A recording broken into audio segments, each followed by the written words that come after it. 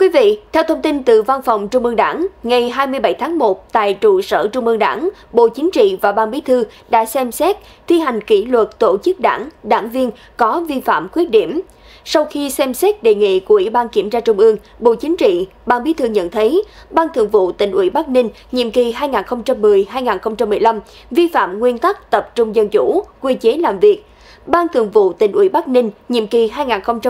2015-2020 buông lỏng lãnh đạo, chỉ đạo, thiếu kiểm tra, giám sát để ban cán sự đảng, Ủy ban nhân dân tỉnh và nhiều tổ chức cá nhân vi phạm quy định của đảng, pháp luật của nhà nước trong việc tổ chức thực hiện các dự án, gói thầu của công ty cổ phần tiến bộ quốc tế, gọi tắt là công ty AIC, gây hậu quả nghiêm trọng, gây thất thoát, nguy cơ thất thoát và lãng phí ngân sách nhà nước. Đến nhiều lãnh đạo, nguyên lãnh đạo tỉnh, cán bộ một số sở ngành, đơn vị bị xử lý kỷ luật, xử lý hình sự.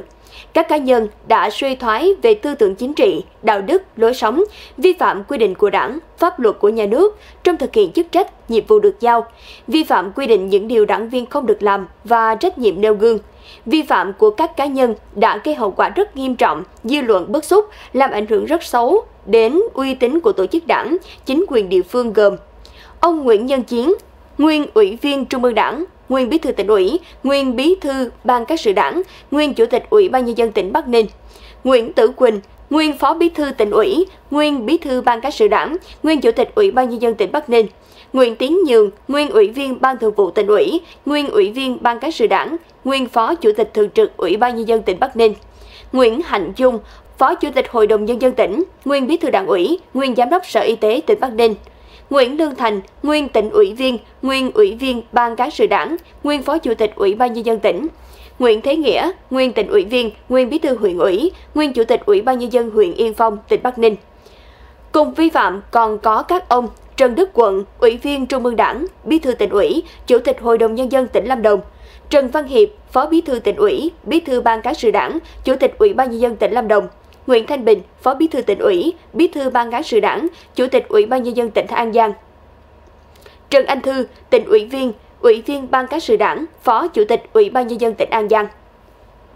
Từ đó, Bộ Chính trị quyết định thi hành kỷ luật cảnh cáo Ban Thường vụ tỉnh ủy Bắc Ninh các nhiệm kỳ 2010-2015 và 2015-2020. Bộ Chính trị cũng quyết định báo cáo đề nghị Ban chấp hành Trung ương Đảng thi hành kỷ luật khai trừ ra khỏi đảng đối với các ông Nguyễn Nhân Chiến, Trần Đức Quận, Ban Bí thư quyết định thi hành kỷ luật khai trừ ra khỏi đảng đối với các ông Nguyễn Tử Quỳnh, Nguyễn Tiến Nhường, Nguyễn Hạnh Trung, Nguyễn Lương Thành, Nguyễn Thế Nghĩa, Trần Văn Hiệp, Nguyễn Thanh Bình, Trần Anh Thư. Bộ Chính trị, Ban Bí thư đề nghị các cơ quan chức năng thi hành kỷ luật hành chính kịp thời, đồng bộ với kỷ luật đảng.